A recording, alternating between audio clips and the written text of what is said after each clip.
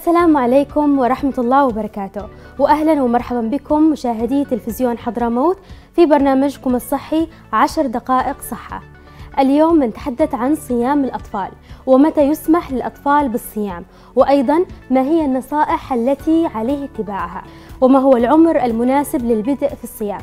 والإجابة هي دائما بأن الأهل هم من يعلمون أكثر عن قدرات الطفل وهم من يحددون له نظام الصيام مع المتابعة الحثيثة للطفل. وهناك مسموح وممنوع في صوم الأطفال حيث ينصح بأن يبدأ الطفل بالصيام بعد سن العشر سنوات لكن مع مراعاة التدابير والخطوات المتعلقة بالصوم حيث يجب مراعاة حالة الطفل الصحية والنفسية. لذلك ينصح باستشارة طبيب الأطفال. طبعا طبيب الأطفال باستطاعته تحديد إمكانية صيام الأطفال كما يمنع صيام الأطفال في الحالات التالية.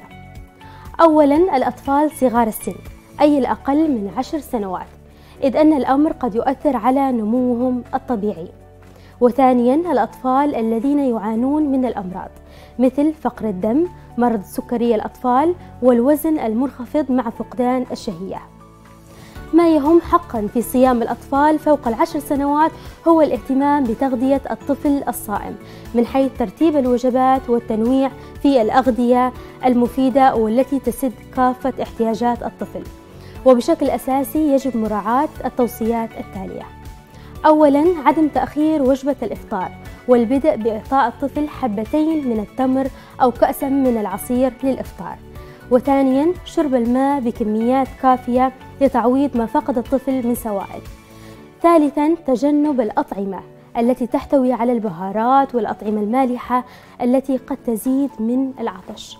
رابعا استبدال الحلويات والأطعمة الغنية بالدهون والسكريات بالفواكه أو الأرز بالحليب أو الأطعمة الغنية بالفيتامينات والمعادن الضرورية لنمو الطفل. خامسا تجنب المقالي والأغذية الدسمة والتي قد تكون ثقيلة على المعدة بل وتسبب عسرا في الهضم.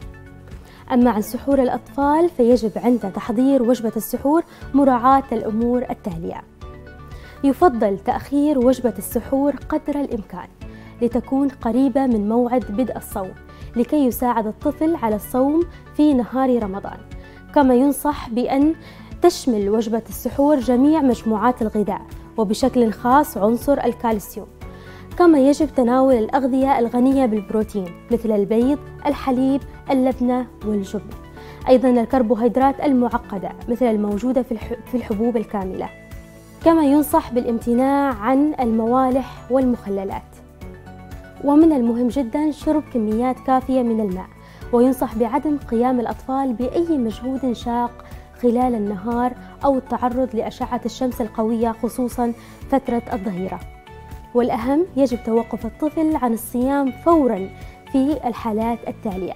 عند شعور الطفل بالتعب أو عدم استطاعته تحمل الصوم وأيضا في حالة تأثر صحة الطفل بأي عرض طبي من إسهال حاد أو دوخة أو غيرها.